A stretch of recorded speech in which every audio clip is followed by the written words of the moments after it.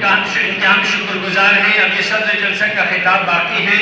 मुख्तसरन मैं आपको एक जुमले की तरह इशारा कर दूँगा। आजकल का ज़माना जो टेक्नोलॉजी का ज़माना है, मौला अली के नाम से सिर्फ़ नाम से काम नहीं चलेगा, कुछ काम करने की भी ज़रूरत है। मुझसे पहले पहले शेख साहब फरमा रहे थे, मौला अली ने सूरज को डूबा हुआ सूरज पलटाया। अभी मौजूदा दौर में ड्रोन टेक्नोलॉजी दुनिया की सबसे बेहतरीन टेक्नोलॉजी है।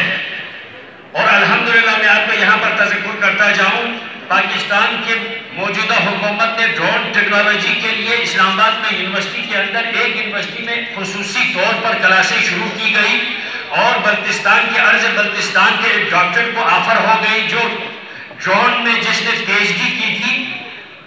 लेकिन आज हमारे पास सिर्फ़ यही है, अब आप सही तरह से चार्जिंग हो गई ना आपकी पहले उलमा किराम आए हैं आपकी चार्जिंग हो गई है आप फुल चार्ज हैं नारू की वजह से और तकरीरात की वजह से और बहुत सारे जोश और जज्बे की वजह से आप सुनो। आज कौन सा दिन है? मुझे मौजू जो दिया गया है, लेकिन मैं इस मौजू के अल्फाज को चेंज करूँगा क्योंकि इसलिए किसी छोटे को बड़े की नज़रों में पेश करें तो मकाम बनता है। किसी छोटे की नज़रों में बड़े का कोई मकाम नहीं होता। आज मौजू मुझे आला साहब ने यह दिया था इकबाल की नज़र में अली नहीं। इकबाल बहुत छोटा है। इकबाल की नज़र में अली कहा? कहूँगा, इकबाल का अकीदत अली के साथ क्या है?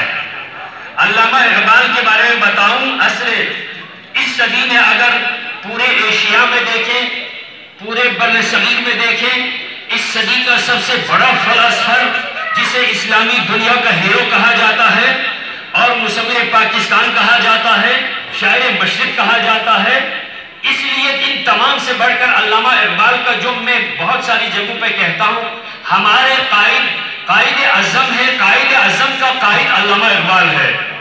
इसलिए कायद अजम बर सगीर में बर सगीर की आज़ादी का नारा लगा रहा था। यानी पाक हिंद को अंग्रेज़ों से नजात का नारा बुलंद कर रहा था।